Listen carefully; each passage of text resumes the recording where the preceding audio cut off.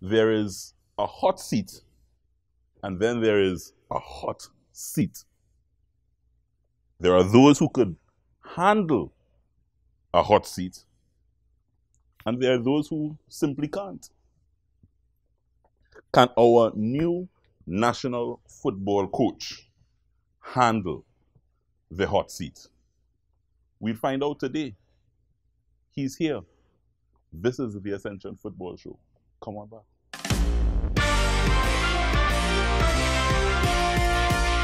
This is a great honor for me, a privilege um, to continue to serve. Getting them ready for the Gold Cup qualifiers. First we can shoot Get them in a camp environment to, to give them the opportunity.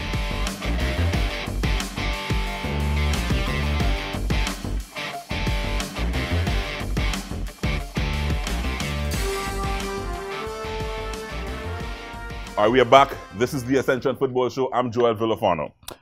He represented this country on the football field with heart and soul. Made his debut in April 1994 against Barbados. Quickly became a fixture on the national team and went on to become the most capped national player of all time. Still, 117 caps according to the records to his name. After hanging up his boots in 2006, he announced himself as one of the top pundits analyzing the game here in Trinidad and Tobago and across the Caribbean. But coaching has always been very close to his heart. He has coached successfully at all levels here in Trinidad and Tobago. From the SSFL, secondary schools football, to the Super League, to the Pro League, and also has a, had a stint as a youth national coach. Today, he is in the hot seat as our new national senior football coach. Angus Eve is here. Good day, sir. How are you doing, my brother? With an introduction like that, I probably could just walk up the That was that Yeah, was that, that was you in a nutshell. Don't? Um, I, I, I, I asked myself the question when the announcement when the announcement came. Um, is Angus Eve ready for this job? Um, because over the years, I'm sure you would have had eyes on the possibility and the honor of coaching a national team. But this is a very, very different time in, in football in Trinidad and Tobago, Angus. And I asked myself, and I was just questioning myself, is Angus Eve ready for this job? Do you feel ready for this job at this point in time? Yeah, um, it, as you said, Joel, this is a great honor for me, uh, privilege um, to continue to serve my country in whatever capacity that I can. And um, I see this as another stepping stone into um, the direction which I have been preparing my whole life for. Um, and yeah, uh, if I didn't think that I was ready to do the job, I, I would not accept the job. Uh, when I got called that Sunday afternoon and, and, and, and offering up the uh, position, um, it didn't take me more than five minutes to say yes. Um, because as you rightly said, um, preparation meets success. Um, when when I, I, I was um, always contemplating and looking and watching the players that we have and looking at teams that we will have to play. So from that standpoint, I think I would have been doing the groundwork um, in preparation for the job because I always wanted to do. If it's not the Trinidad team, it would be a, a, a another team of of, of equal um, standing, but it's it's it's even more um, of a privilege for me being um, my home team. Look back at your career in football when you started as a young footballer um, and you came through the ranks, you became, as I said, a fixture of national team, and then post your playing days, Angus. Would you, I mean, in any footballer turned coach, would you say this is a dream come true for you here? Yeah, um, every every step of uh, my career would have been a dream come true for me. You know, when I, I was a player and I represented my community, that would have been a dream come true because I grew up watching um, Ron La Forest and um, you know Marlon Waterman and Hayden Waterman and all these these guys, and then you know watching the strike squad and watching their exploits. I then wanted to be a part of a national team, and I achieved that. And, um, you know, we played in a Youth World Cup in 1991 with my mentor, Bertille St. Clair. And um, that was, you know, each phase of me playing um, would be an honor. And, and every step that I take would be leading me to the next step that I want to take in football.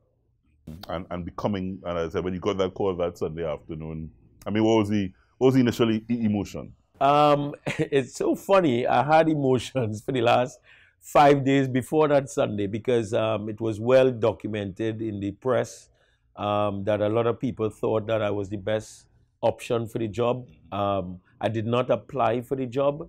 Um, um, so I, I, guess that um, the, the candidates that they had, when they reviewed them, they came up with my name. Uh, a lot of people were supporting me, even I didn't have the opportunity, and people were calling the phone, and I said, I don't know anything about it except what I'm reading in the press. You told me that. Yeah. And I, and I mean, you and I go yeah, so yeah. back. I, I, really didn't know anything. You, you lied to me on this. No, no, no. I, I, didn't know anything. Um, all I knew is what was, was bandied about in yeah. the press, and all the pundits who um, were surmising who would probably get the job. A couple of names was in the mix, and um, when they called me that Sunday afternoon, um, you know, I was privileged and honored to have the opportunity. You, you, you made the statement preparation meets success. Um, and would you say over the course of your career thus far, you were in preparation for this task now at hand? Most definitely. Mm-hmm. Um, every every journey that I would have gone through, every um, team that I would have coached, uh, every interview that I would have done and, and look at and, and analyze games from from that standpoint and being able to you know dissect games and, and commentate on them and all these kinds of things all of these things will prepare me for this. And um, you know so the preparation has been there. I have gone through all the processes. I've done all my badges. I've, I've you know it's, it's just now to go out and perform. Um, nothing in life is easy um, but everything takes a step at a time. This is a very difficult job. I'm not going to complain and say about the time. I'm not going to complain or talk about COVID or anything of that sort simply because I looked at all of those things already and I've accepted the job, so there's no excuses. Big bold statement right up there. I'll, I'll dig into that big bold statement a little later, but um, for not not every player that would have done well at international level that attempts to coach, it works out for them. I've seen you coach over the years at, at, with a degree of success. Coaching comes naturally to Angus Eve. Was, was, was that something that, that over the years, since you've been involved in coaching, came naturally to you? Yeah, I think um, because for me, it's uh, everything that you do, God is, is totally involved in it. And I think it was a God gift that I was a player. It's a God gift um, I pray for wisdom and understanding all the time. And uh, I remember Bertille St. Clair playing me in different positions. And as a young kid, you're, you're telling yourself, why am I playing here? Why am I playing there? And then Kenny Joseph did the same thing with me because primarily when I started national team, um, I was a striker. I used to be scoring goals for fun. And then I moved to the flank um, because at that time we started getting a lot of players who playing abroad. And so when the players who are playing abroad, they have first preference, and the players who are playing back here. So I then have to um, reinvent myself every time. And to be honest, um, even little conversations with, with Dwight on how to screen the ball, how to turn as a striker, what he was learning in England at that time. Russell, um, his vision, his, his awareness of the field. So me being able to play multiple positions, David Nakhid, um, the way that he controls a midfield, um, so all of these guys would have been giving me experience that they would have been gaining on the outside. And I was like a sponge, um, just taking in all of it. And my ability to adapt to any system that the teams would play and position, I think augurs well for me coaching a team. You mentioned the name Bertille St. Clair, um, and uh, uh you, you mentioned it a couple of times, and I, I know that Bertille St. Clair is ranked high in your mind. Um, he he has been a mentor for you. I, I, still I, is. Yeah. Still is. Still is. Um, the impact that he would have had on not only your playing career, but I'm just interested in finding out from you based on what you, you said he played you in different positions yeah, yeah. and and, and as a coach back then, as a manager of a team, what would you take from Bertille going into this job now? Um, firstly, um, discipline. Um, the pillars, uh, discipline, hard work, and um, teamwork, most of all. No man is an island. No team. If we have 10 Russell P, I don't think that we can win a game. Naturally, Russell is not a defensive minded player. Um, vice versa, David Nakhid or, or any, if you have 10 Clayton Ince. So each player has a role to play for the benefit of the team. And that concept of team and that concept of discipline and, and passion um, to wear the jersey, uh, whether it be whatever team you're playing for at the point in time, you need to have the passion for the jersey. You need to have that tenacity for the team. And there's a, there's a band of brothers. You know, I, I saw Ansil Elcock today, and I was so happy. We, we don't see one another um, that much. But if I call Arnold Dwarika, we're still good today because of all the things that we would have gone through on the field. The greatest lessons that you could learn in life is in a sporting environment. You would have also worked very closely, um, both I think as a player and as a coach under Terry Fenwick. You would have played for Terry Fenwick at San Juan Jabloteh. Um, I think at one point, if I'm not mistaken, if my memory serves me yes. my memory is not all that good. Yeah. Um, but if, if you would have also been an assistant coach yes. to Terry Fenwick, yes. Um, so you, I, I, mean, you would have worked under Terry Fenwick, Yeah. player and and and, Yeah. and, and the coach. Um, your, I, I want to position the question properly because I don't want to put you in a position that that will be um, speaking your your your your predecessor. But when Terry got the job as the coach, did you think he was able to handle the job as national coach of this country based on all what Terry Fenwick could have done in this in this country? Um, I, I can't answer that question because by then I wouldn't have been working with him for a very long time. Um, but what I can say when I used to work with him in, initially, um, in the earlys when he just came, it was all new. It was all, you know, we, we, we didn't know. I heard Jamal Shabazz said it best that Terry changed the Pro League in the sense of the intensity of play and stuff like that, um, and, and the organization at that point in time. Um, I haven't worked with him since back then, so I don't want to make any pronouncements except I supported Terry 100% um, as my role uh, at the time at the Coaches Association, simply because he's in the job and I and he's, he's, he's doing my country. So I would support whatever coach that they put in, in front of us, whether it be foreign, local, or whatever, um, to, to, to make pronouncements on whether he was ready for the job or not. That wasn't in my hands. Uh, the powers that be thought that he was, and they gave him the job.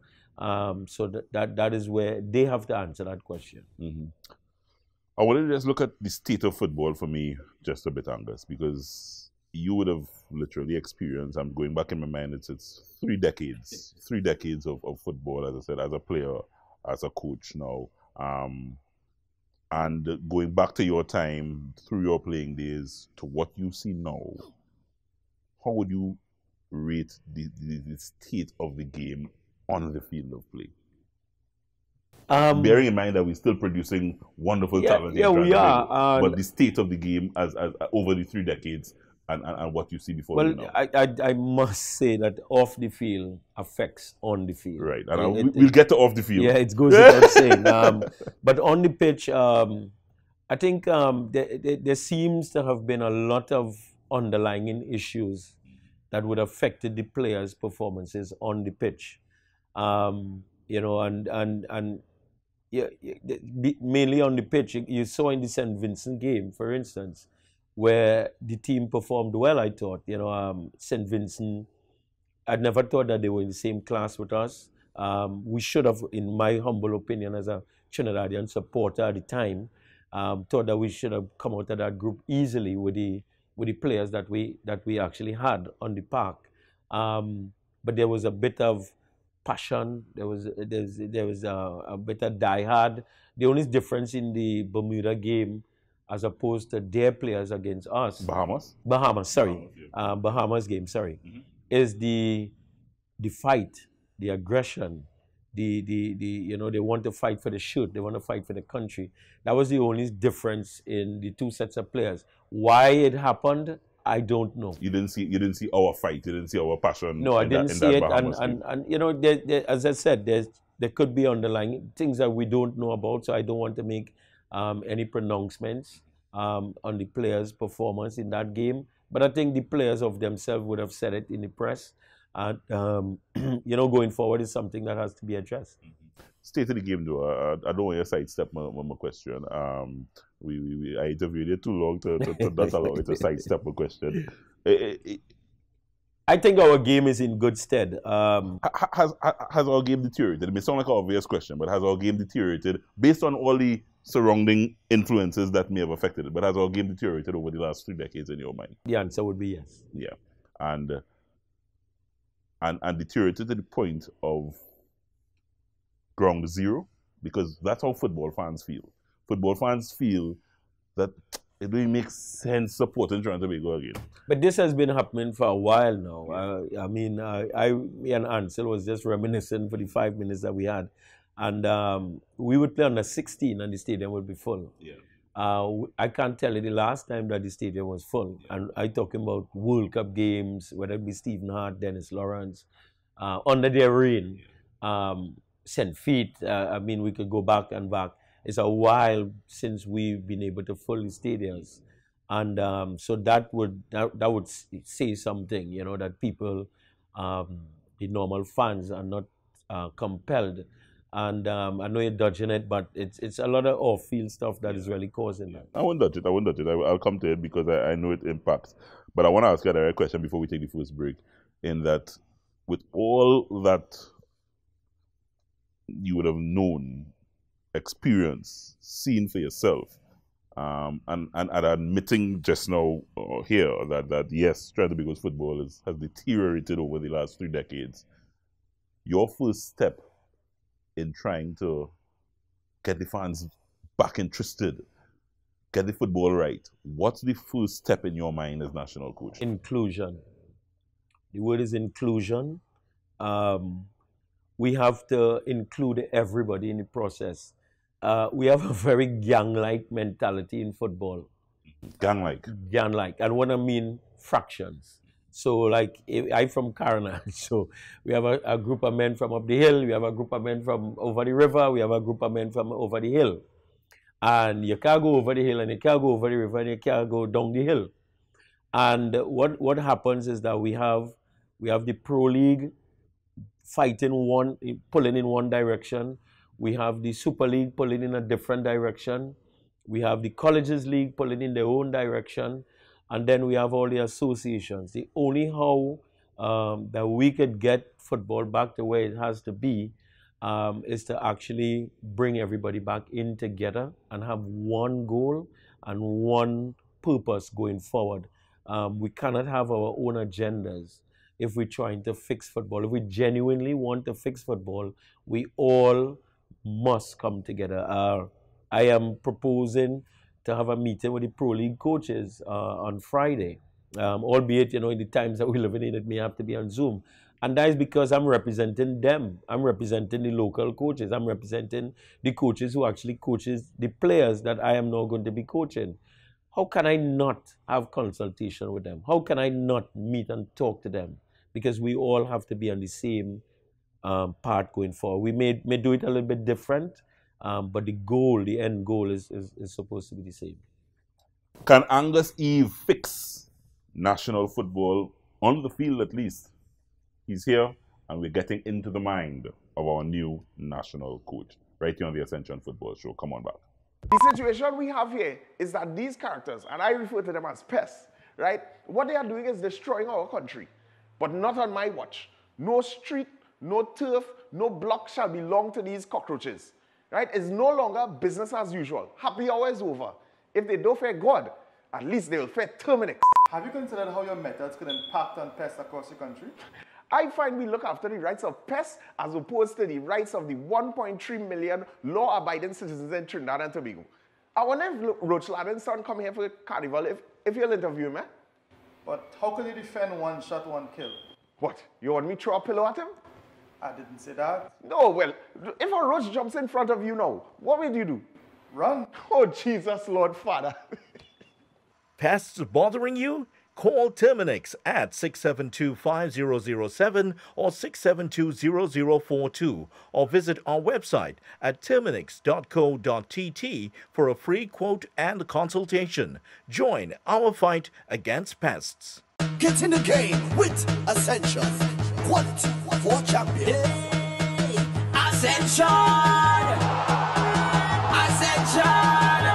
Premium quality and style make you stand out all the time. Ascension is quality for champion.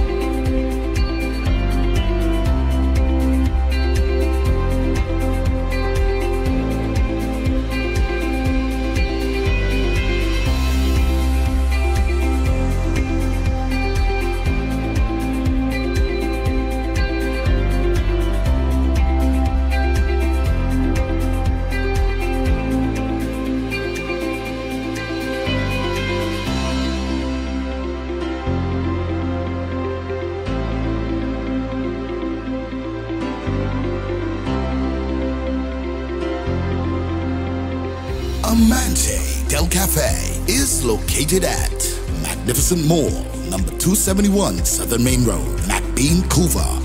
Amante Del Cafe. Happiness begins with brew.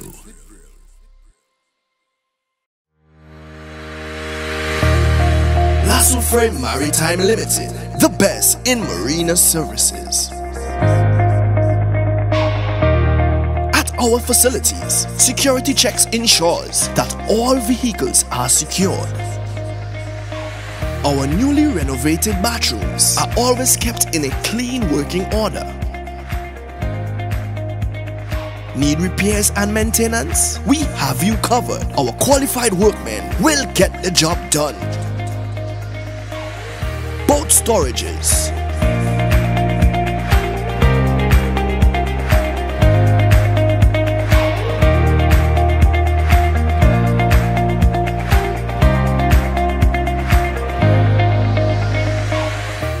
Our marina, you can easily push off for a family sailing trip.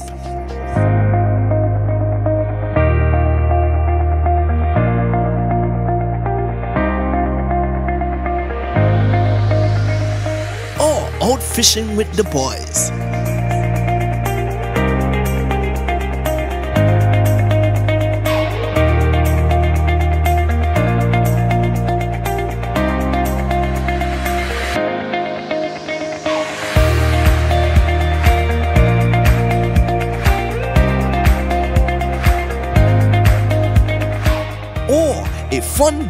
Experience with friends.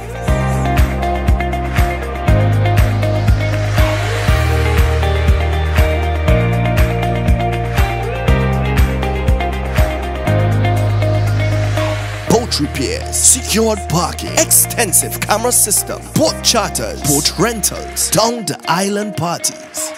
Contact us at 1 634 1653. Lasso Frame Maritime Limited. The best in marina services. Life's better on a boat. Angus Eve is the new head coach of Trinidad Tobago, taking over from uh, Terry Fenwick, uh, who has been relieved of his duties as Trinidad Tobago now surges forward in a new direction where football on the field is concerned. Angus Eve's very first task is gathering a team, getting them ready for the Gold Cup qualifiers first week in July. That's right. First game against Montserrat. Angus Eve is here and we're trying to pick his brain as best as we can because you said something at the top, um, made a note of it. You're not complaining. We're in a pandemic. It is what it is. You're not making any excuses up front. I thought that was very interesting because many times people go into a situation and they start saying, "Well, remember this is the case and that is the case, and the boot's orange. I don't have a I don't have a black boot." So, and they start putting things in place just in case. Just in case. You, you, you took the opposite. You took the opposite direction to that angle. You say you're not complaining. It is what it is, but you have a job to do. That's how that's how you feel. Yeah, most definitely. Um, why take the job and you come to complain about the job, about the difficulties of the job? They didn't give it. They give you the job because they think that you can fix the problem, and you took the job because you think you can fix the problem. So why gravitate on the problem? Um, I tend to look for more for the solution than the problem. You know, losing a game, I learn more losing a game than winning a game because we could play a bad game and win a game.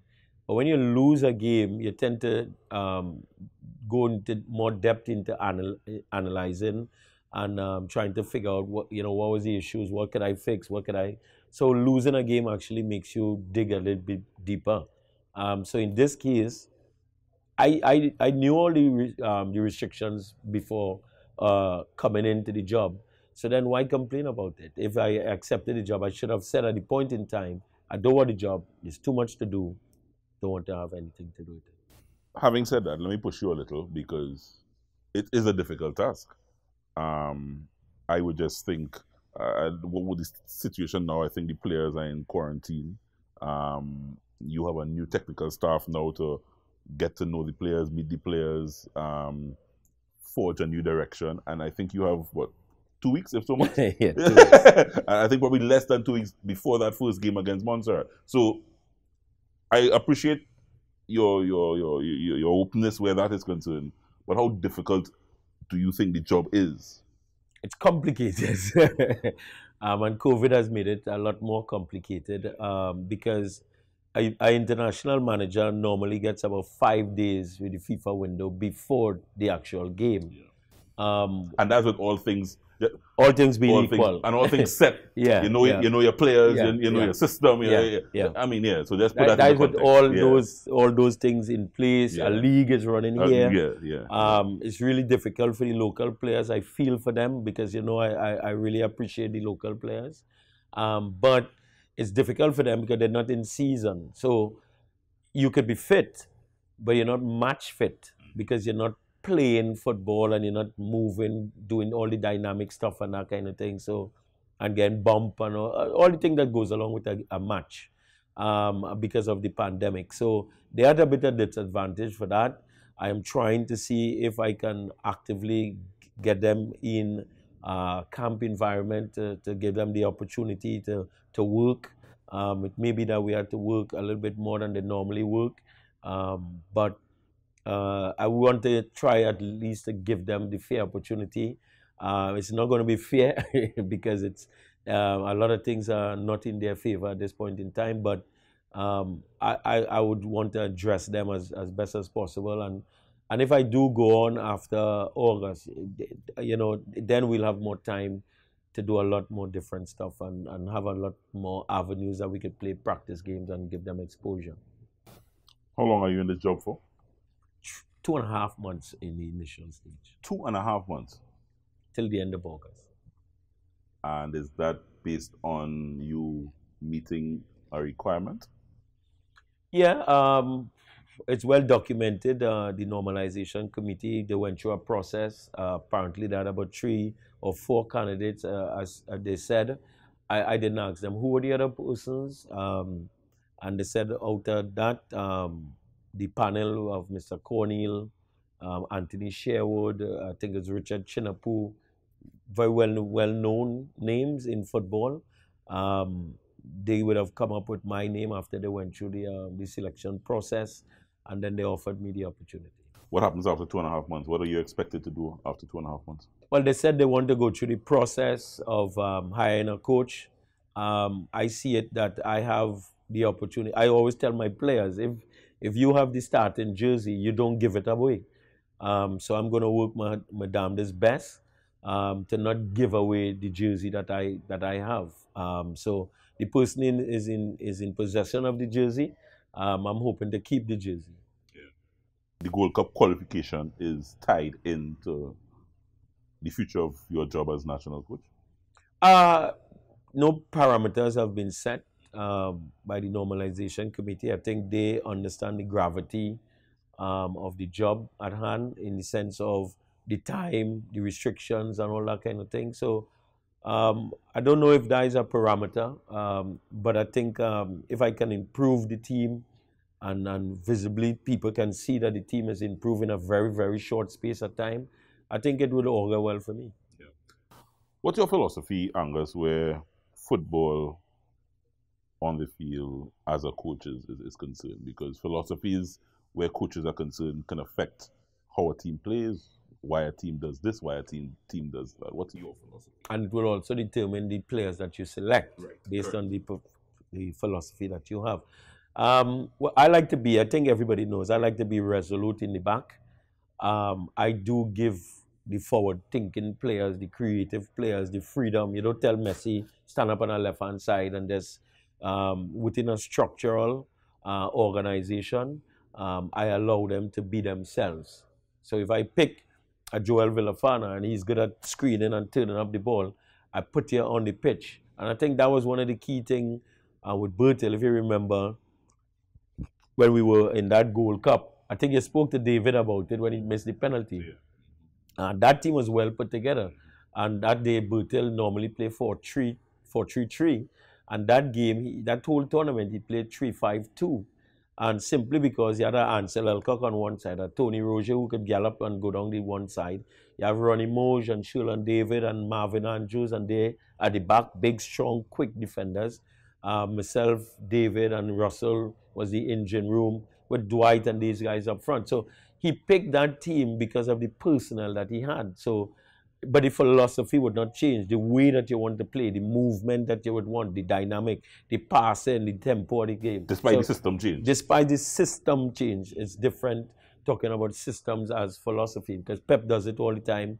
He plays forward thinking football, but he would play three at the back at sometimes. He would play four in the midfield at sometimes, you know. So it's the philosophy doesn't change. And my philosophy is moving the ball, um, passing it early, getting touches all around, getting the ball forward as quickly as possible and, and try to create chances.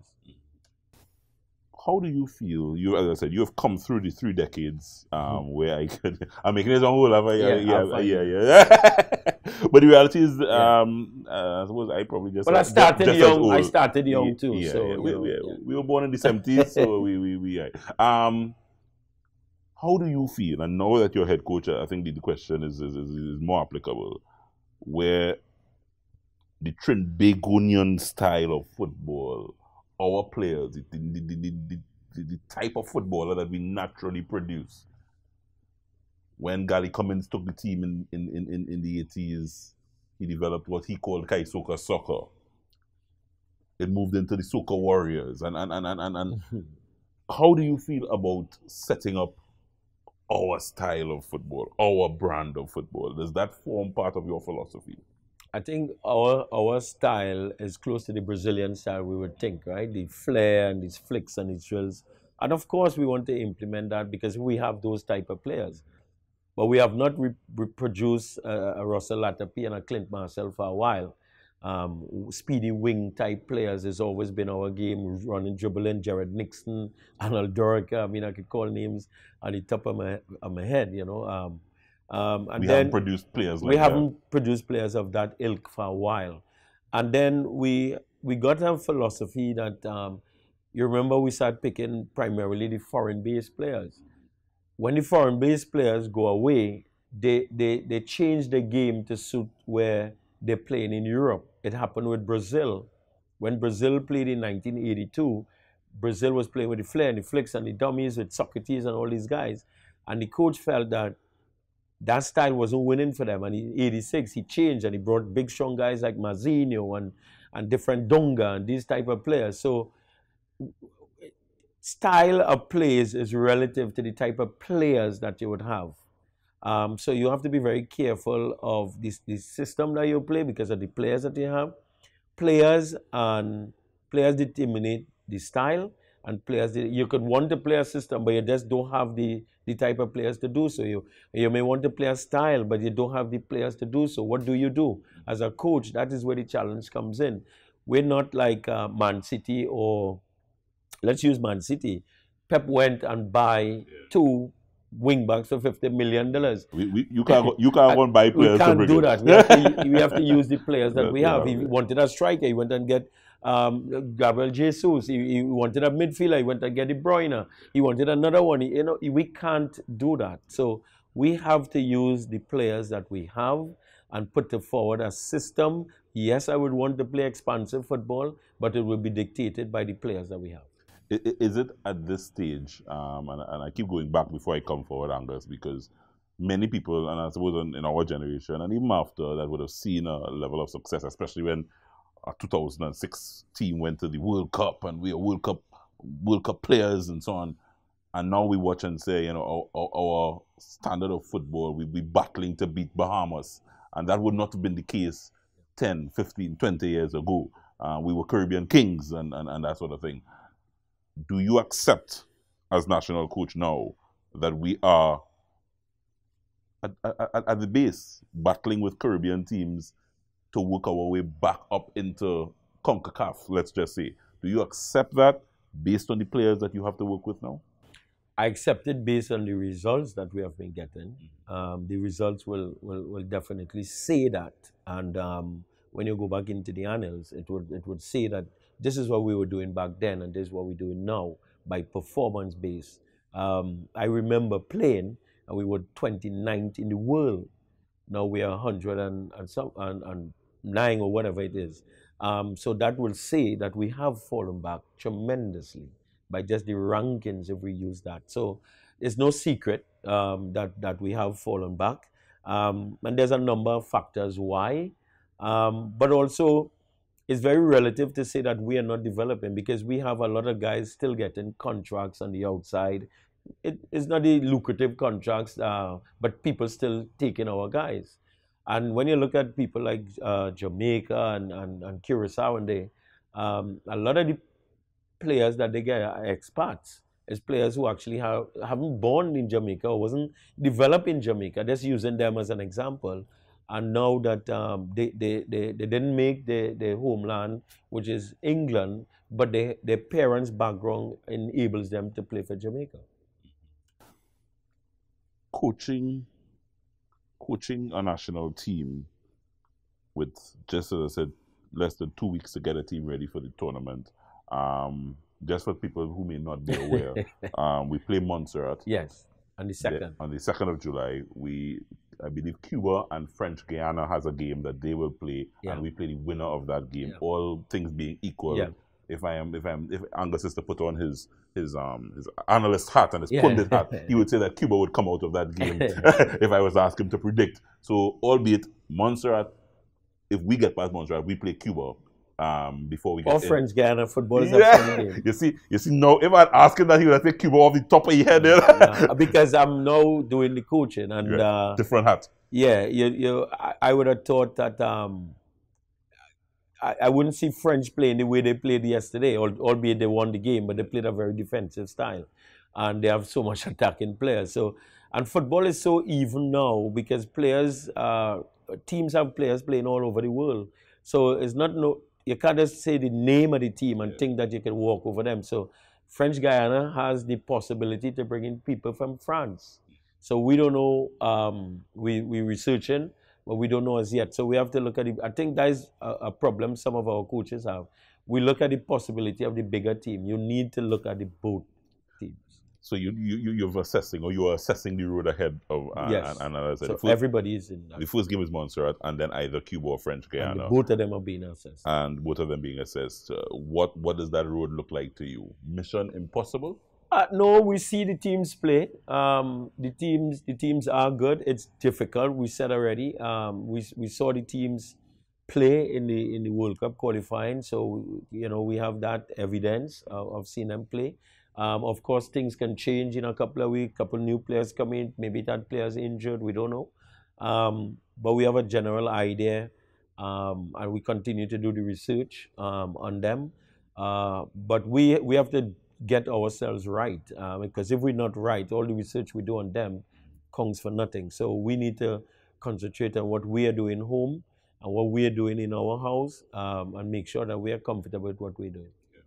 You know, I suppose you you, you, look, you try to pick a national team coach head. Um, as fans, what are our chances, boss? Do we have a chance here? Because we know we know what we know what we just did. We now fall, fell out of our World Cup qualifying race. Um, chips are down. Players probably, you know, players' heads drop a bit.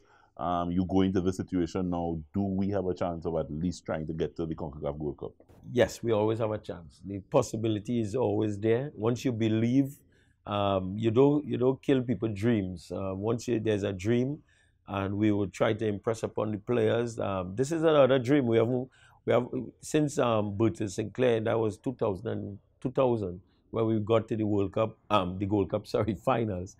Uh, we haven't done anything except for Steven, I think, past the quarter, reach the quarterfinal stage.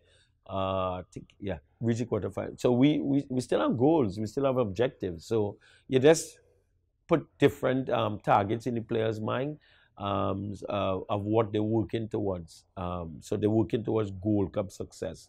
World Cup success has gone. That is behind the door. Now we're working towards Gold Cup success.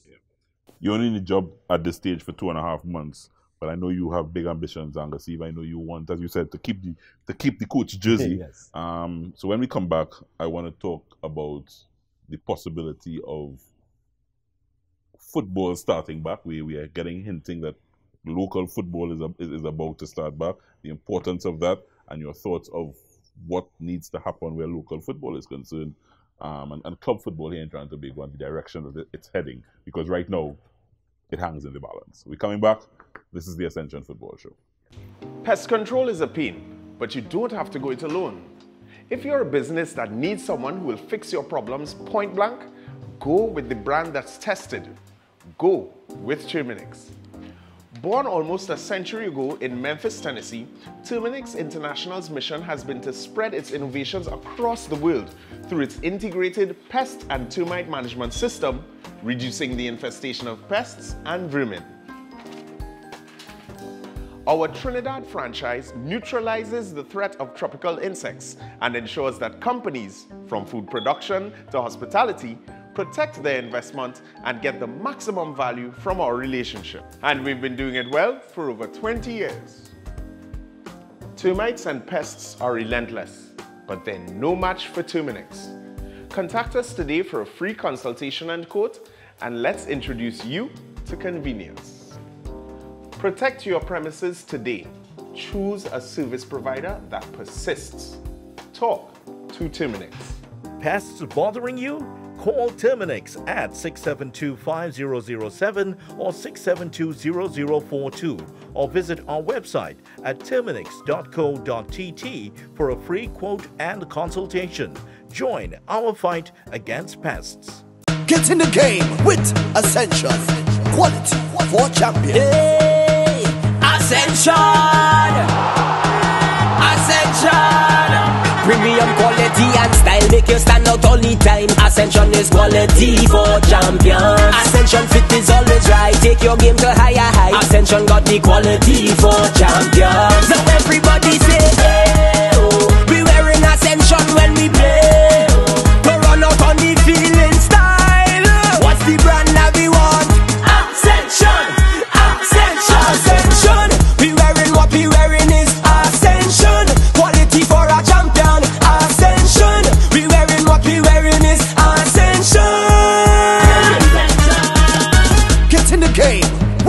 Ascension. Quality for champions. Lasso Maritime Limited, the best in marina services. At our facilities, security checks ensures that all vehicles are secured. Our newly renovated bathrooms are always kept in a clean working order. Need repairs and maintenance? We have you covered. Our qualified workmen will get the job done. Boat storages.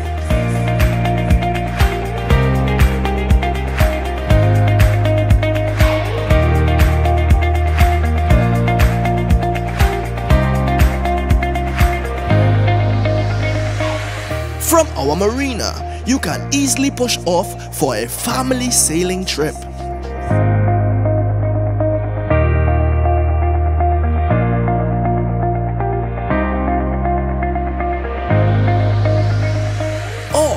Fishing with the boys.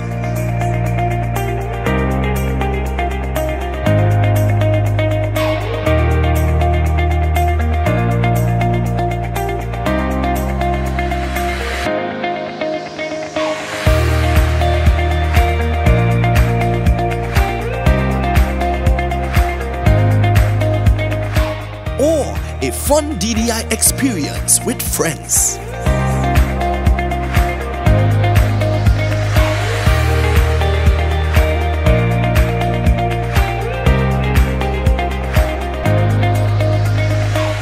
Repairs, secured parking, extensive camera system, boat charters, boat rentals, down the island parties.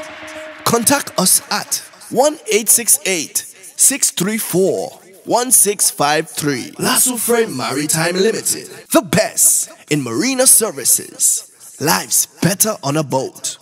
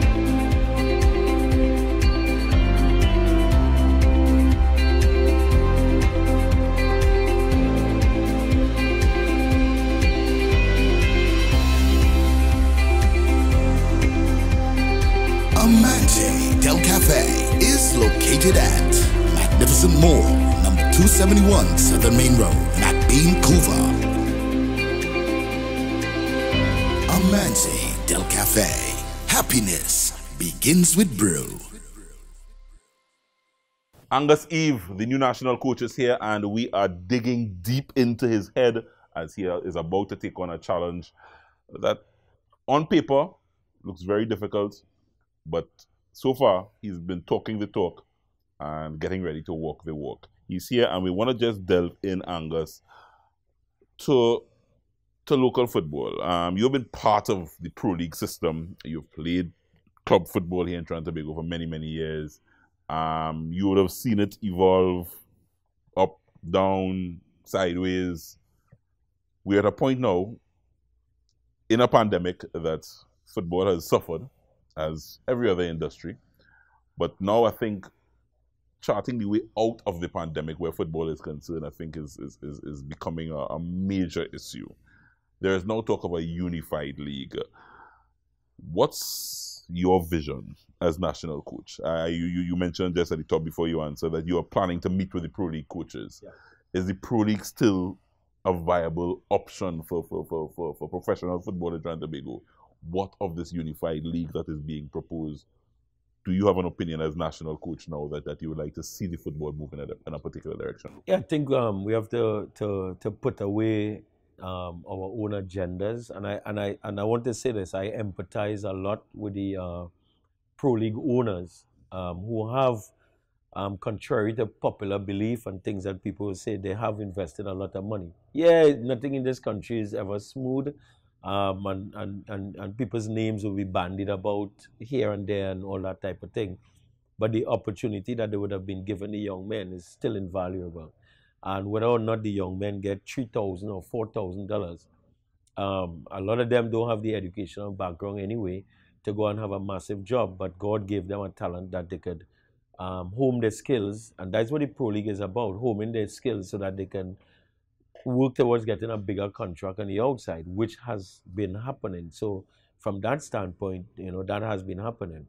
Um, I, I, would say that um, our league, um, in its current format, is is is is, is, similar to the what it happens in America. America has an elite league, the MLS, and then they have the USL one and two and, and I think three. Uh, below that, there's no promotion or relegation in that system, um, like across the world.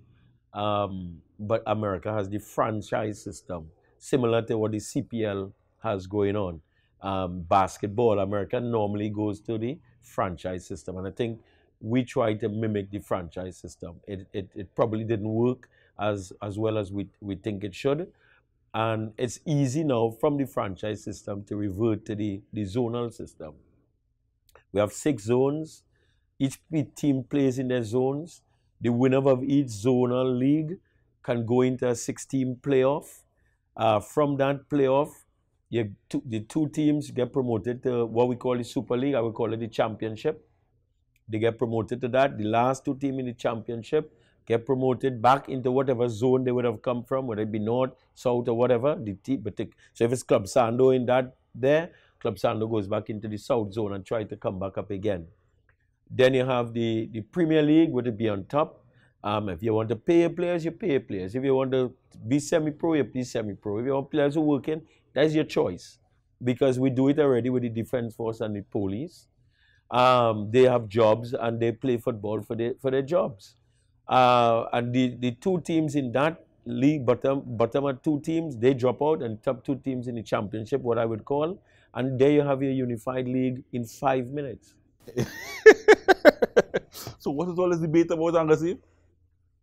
It's the same system in England where they have the Premiership, yeah. Championship, and all the other divisions below. It's no different. So, but let me just get get it clear. You kind of you kind of open by just comparing the both system, the franchise system, and then the promotion yeah. relegation system. You are you you're saying at this stage you're supporting you're supporting that promotion relegation system from the zones come up.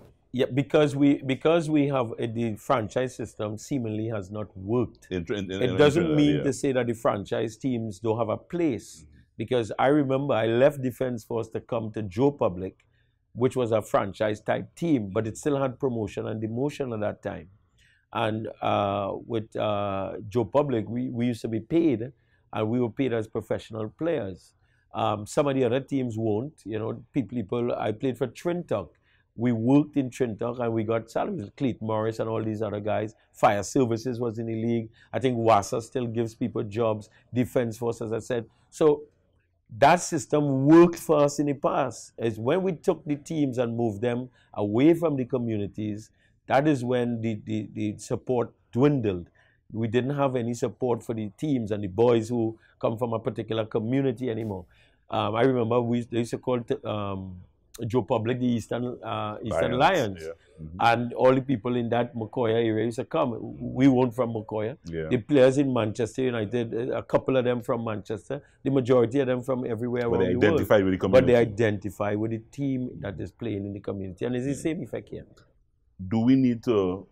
No, I said you, you rattle it out in five minutes, and I understand that. But do we need to because because of that franchise system where we had pro league teams and pro league owners owning teams and that franchise system. Do we need now to undo that, kind of just tear that tear that up and, and, and, and go back to the communities, as you said, with club teams in, in this country? Well, well, it's the same thing. I mean, um, Rangers has now moved to La Horquetta. Yeah. They are identified as Rangers La Horquetta. They have a feel in the community. So the people could identify. Rangers used to be in Port of Spain before, St. Anne's. So they moved the St. Anne's and they relocate them to here. So Jabloteh has a natural community in Sawa. There's pitches in Sawa that they can develop for Jabloteh to play there. Caledonia in Morvant. So it, it's, it's not a difficult task to be done. No, it's not. It's just the powers that be had to come together and Yeah. talk and get and you know get the thing done. You know, we just had to come together. because, because because we've heard that and, and you you and I would have had those type of discussions and debates over the years and, and we've heard that and that just has not come to come to fruition. Uh, we're seeing it here, probably a perfect example happening here in La Horquetta with, with this Rangers team and, and, what uh, the, The the- possibilities are, possibilities yeah, can be. yeah. Um, do we have the the, the, the, the, fortitude and the wherewithal to, to, to take this, what we're seeing here, and, and spread it through the country? I do think too the, the government have to also help because I, I'm not hundred percent sure, but I think that La Horquetta would have had gotten approval for the corporation and stuff like that for the pitch because no team owns the pitches in the communities. Um, like Morvant, for instance, it have Park Street and it have the one um, in Morvant proper by the uh, fire station. You know, one of these can be developed so that Caledonia could play the games there. I remember a couple of years ago, Caledonia playing a game there. It had about 5,000 people. So the people want to come out, but but it's difficult to go into uh, La Horquetta playing a, a, a home game, for instance, but their home game is in Ato Boldon Stadium. It's, it's difficult. Um, the normal can't walk down the road. He might have his kids. It's difficult to get a taxi to reach that point. So logistics, you know, when we were playing long long ago, uh, I, I remember the North Zone used to play primary in the Savannah. And so you have St. Francois against Carenage United and, and Belmont against Cocorite and all this kind of stuff. So um, I need think, to go back to that, I, I think the people will come back to the football if it's in the in the community. back to the communities. Um, you're in support of this proposed unified league. Most definitely. I think it's the best way for us to go forward. It, it, it invokes a lot of interest um, because the demotion, and the promotion and demotion system, um, it, it, it, it, it lends for the colleges league has it actually. The colleges league, you're playing the same system. You're playing the zone and the colleges league have a lot of support, a lot of sponsorship. You look at the colleges league teams, and there's a lot of sponsorship on the shirts. There's a lot of sponsorship. There's TV and marketing and, and all these kind of things. So if the college league could do it, uh, why why not the, the senior people? Um, does that make what the pro league is now null and void? I, I think because the model has not worked, um, I think everybody has given the model enough time to see if it can work, and the model has not worked. And insanity is, is doing the same thing over and over and, and expecting a different result, you know. So for me, that would be my recommendation. I would like to see the unified league and um, promotion and demotion under one umbrella, and um, you know we go forward there. What's your message to the pro league coaches when you meet with them? Um, I, I have a lot of respect for every pro league coach and every local coach because we continue to develop players with limited resources. Um, coaches normally pump the ball, they throw, they throw the bags, you know, they, they, they, they give players money in their pocket when they don't have to come to training. So I just want to really reach out to the guys and and um, express that um, my heartfelt thanks and, and for all that they have been doing and they have been supporting me. I've been getting messages and stuff, and I just wanted to um, give them a bit of respect because a lot of times you're, you're bringing a coach and you don't have a meeting with the coaches, and I feel aggrieved by that. Um, to hear, you know, what they had to say. If they have an opinion about two players, three players, I think it's it's only fair um, to do that.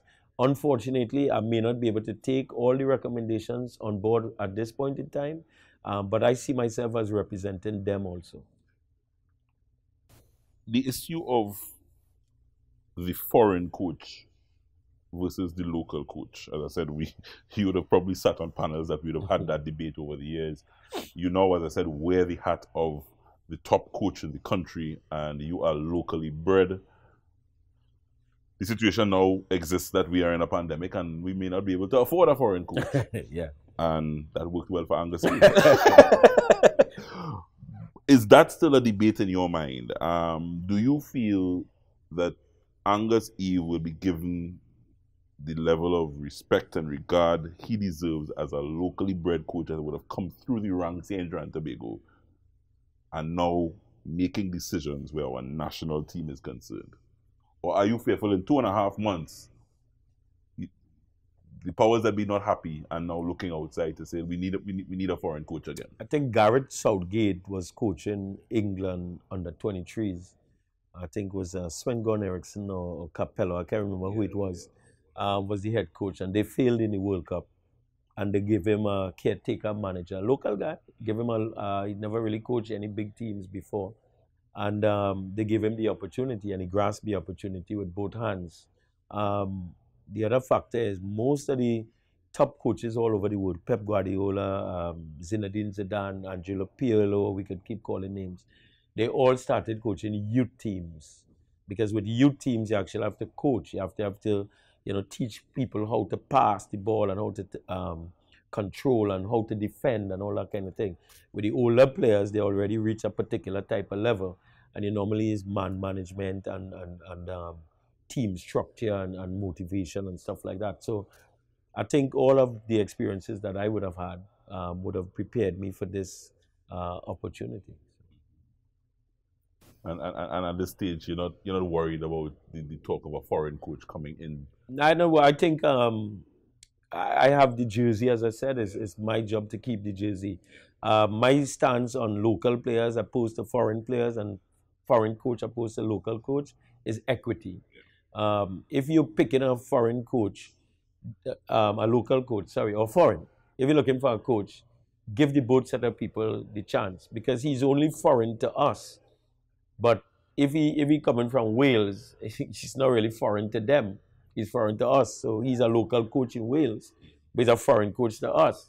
Similar, if I leave here and go in Wales and coach, um, I'm a foreign based coach to them, but I'm still a foreign local based coach to us. So you know, the foreign and local thing, he's coaching where he's coaching, uh, and I'm coaching where I'm coaching, you know. Um, uh, you just have to get give people the, the a fair opportunity, and if the process is right, then I'm good with that. We've been wanting to get into off the field matters, and when we come back, we head off the field because what happens on the field is usually affected by what happens off the field. So we talk about Angus's bosses when we come back in the game with Ascension. Quality for champion. Ascension. Ascension. Premium quality and style make you stand out all the time. Ascension is quality for champion. Ascension fit is always right. Take your game to higher heights. Ascension got the quality for champion.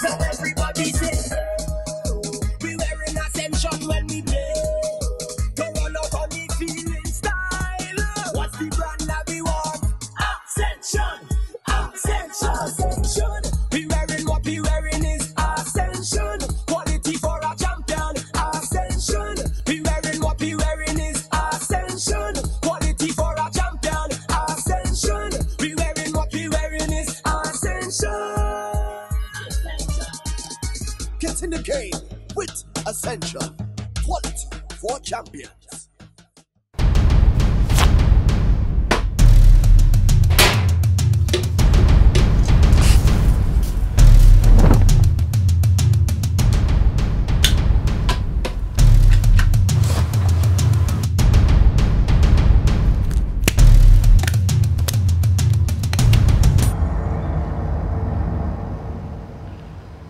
Pests bothering you? Call Terminix at 672-5007 or 672-0042 or visit our website at terminix.co.tt for a free quote and consultation. Join our fight against pests. Lasso Maritime Limited, the best in marina services. Our facilities, security checks ensures that all vehicles are secured. Our newly renovated bathrooms are always kept in a clean working order.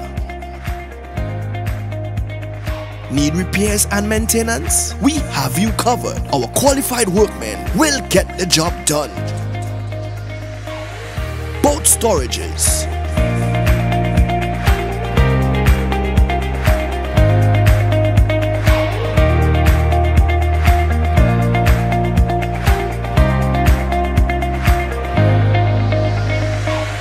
From our marina, you can easily push off for a family sailing trip.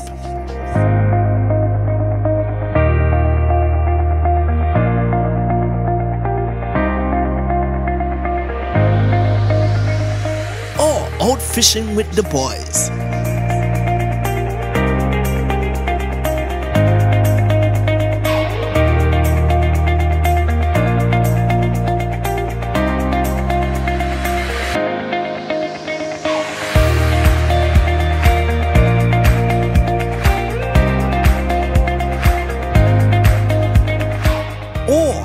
Fun DDI experience with friends.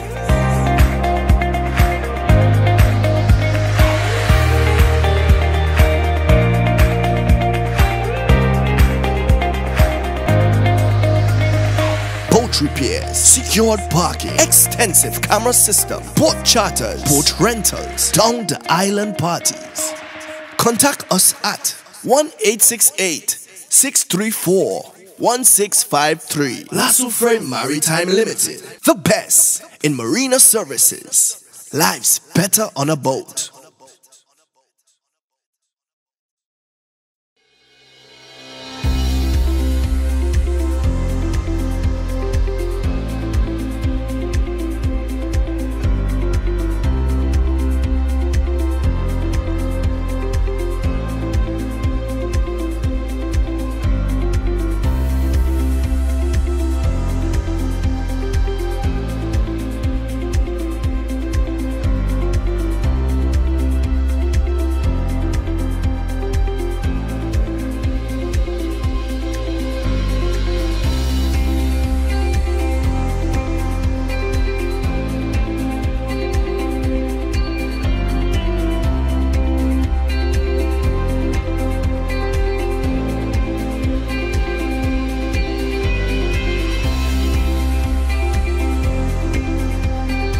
Amante Del Cafe is located at Magnificent Mall, number 271 Southern Main Road, McBean, Couva.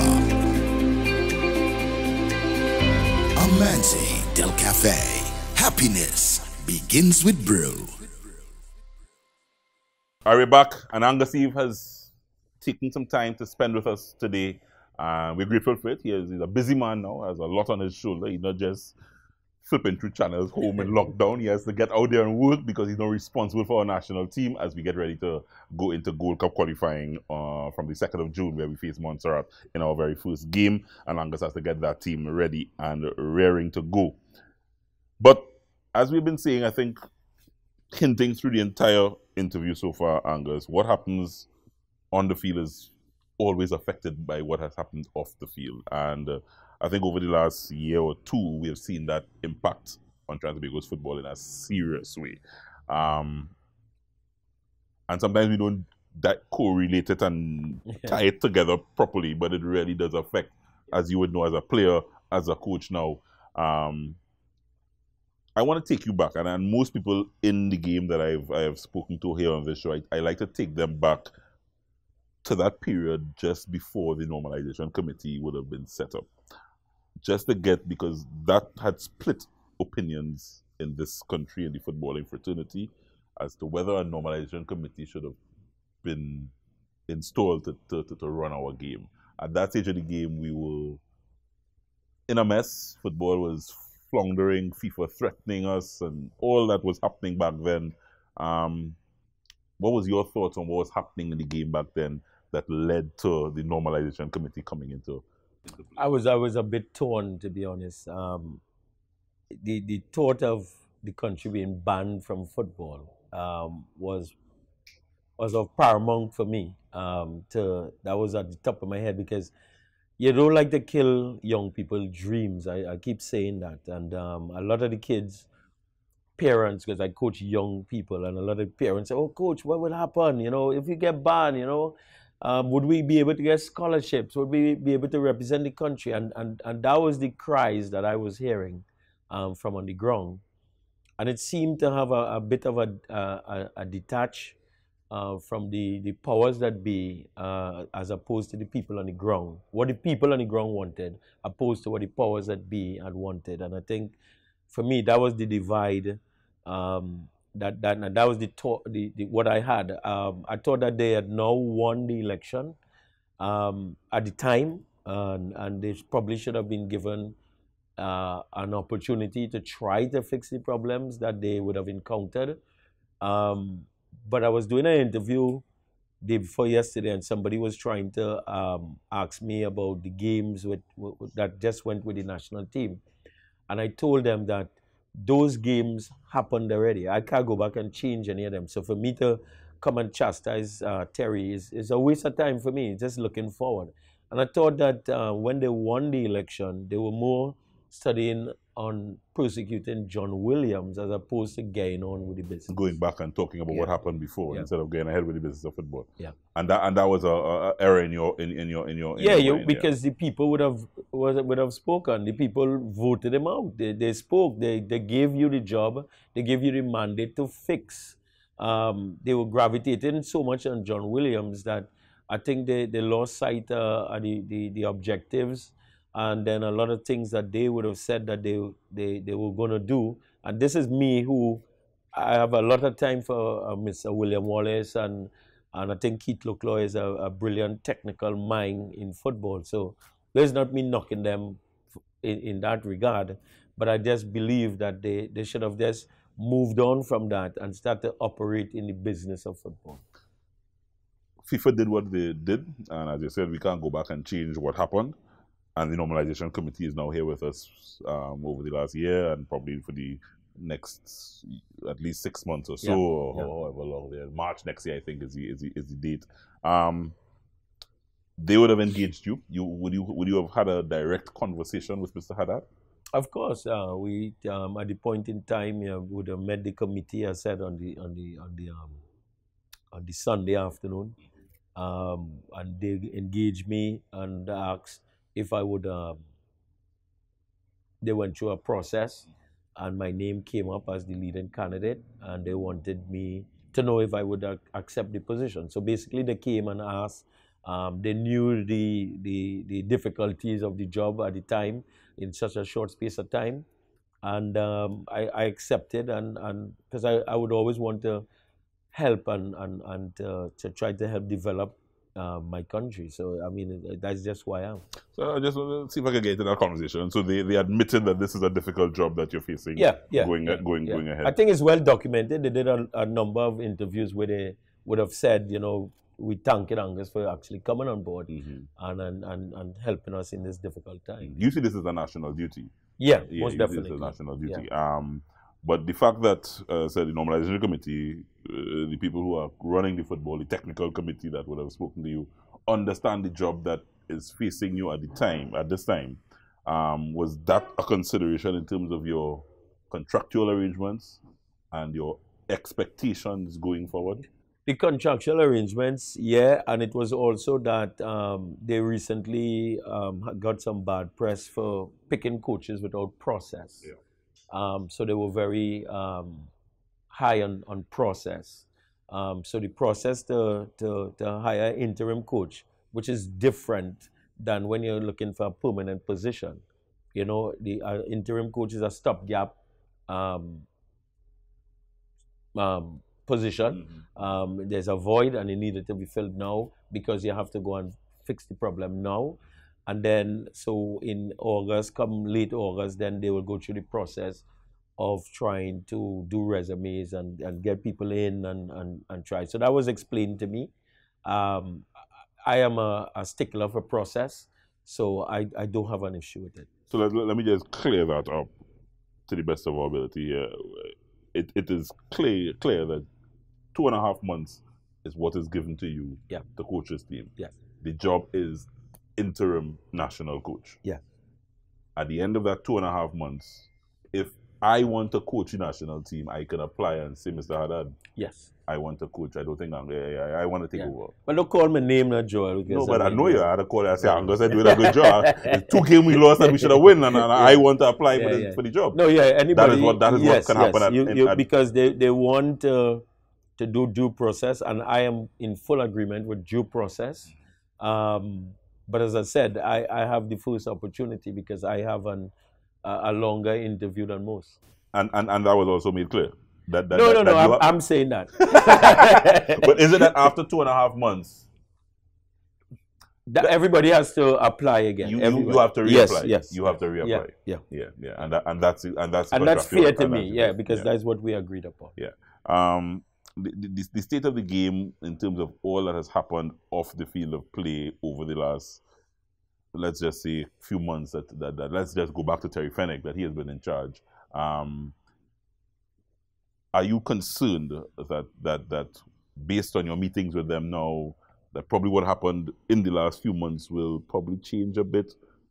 Are you are you concerned that what happens in that boardroom will affect what goes on in your dressing room? Um, I, I don't think uh, I don't think the problem. The coach runs the dressing room, from what I from what I saw, and um, so I don't think the two things correlate. No. Um, yeah, I don't think it in in that instance which you described. I think um, there was a lot of other underlying issues. Um, f- let's just use for instance. Um, it seems like the, the staff and the coaching staff, some of the members had a problem with the Rangers and whatever. I recently had a meeting with the Rangers people, and I thought it was very cordial. You know, um, I think we, we in less than what half an hour, uh, we understand the objective of the both parties, and, and, and we said like, you know, going forward, let's let's do it this way, and we have, we made an agreement, and um, so I think sometimes it's more about personalities um, than process is, is be the issue. that was a major issue, uh, and and, and we, we we're speaking of Rangers, where some of what was considered to be some of the better players in the country was left out of the last team. Um, players that would have been coaching, would have been training. We don't have any football playing, but these some of these players were playing. Are you saying that you are now open to probably assessing some of these players? Let's just say at, Rangers. I was, it was always um, yeah. yeah. But that was the case. That was the case in the Uh, last regime. yeah, and I and I said I, I can't speak for the last people. Um, I I wouldn't even um, try to speak for them. Um, but uh, I know. I mean, for instance, I call a boy Isaiah Lee. You know, I, I he was with me at Naparima. Um, if you Google his Naparima career, it was fantastic. He came uh, from St. Augustine. He was playing a flanker. I didn't even know him when he came to the school.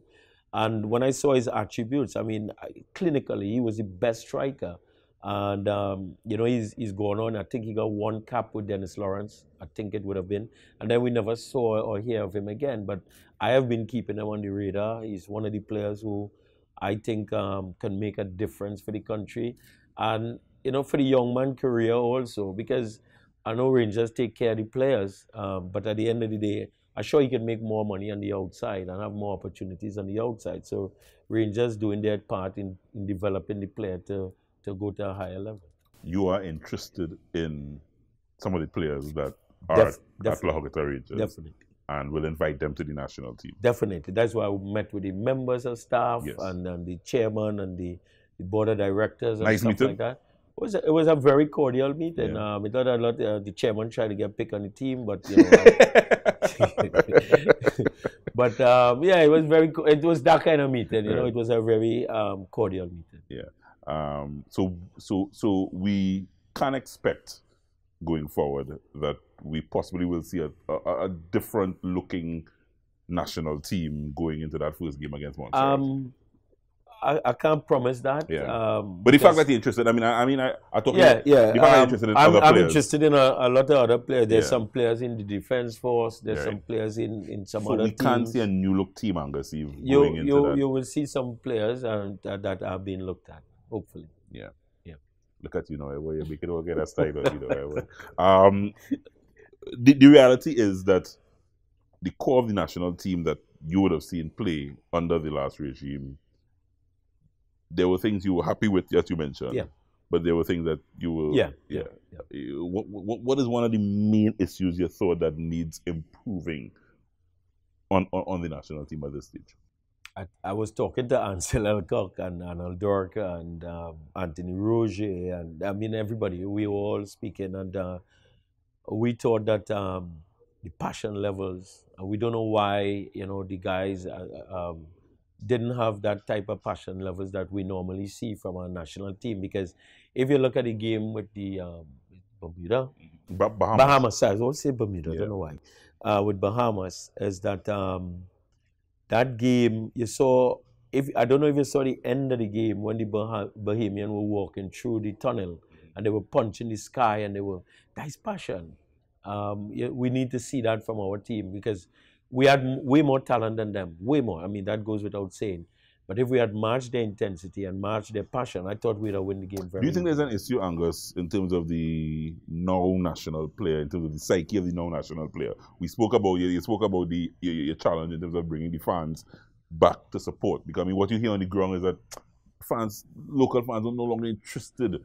You know, we still have a Trinidad and Tobago team. I, I hear it all the time. Um, and, and do you think that connects the players hear that? Yeah. Um, how, how, how is how is that gap to be bridged?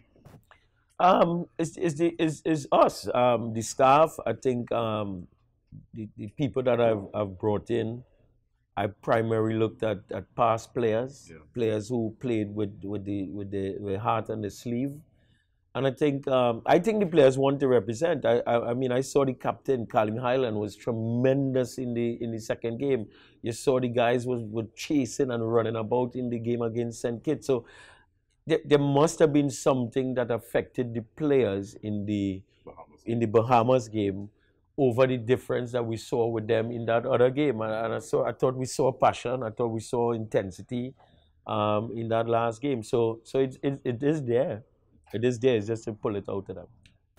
Angus, if you have two and a half months in this job, whatever happens over the next two and a half months, when you look back on that two and a half months, what would Angus Eve be happy and pleased with? What would make you happy and pleased with that I went in there and I did what I needed to do? Whatever happens after that, you, you don't have control. But over the next two and a half months, when you look back, what do you want to accomplish? I think um, if I if if people start because although we were we, we were we were playing badly, people were still watching the games, um, but the comments were, were not good comments, and I, I I would go to the grocery, I would go to the the pharmacy and, and, and stuff like that, essential stuff, of Yeah, course. you didn't, you didn't, you didn't, you didn't address it. Yeah. of essential stuff. And they will hear, you know, people will, because they know I, I have a pass in the game, so they would stop me and, say, oh gosh, boys, when Ole used to play, you know, that type of thing.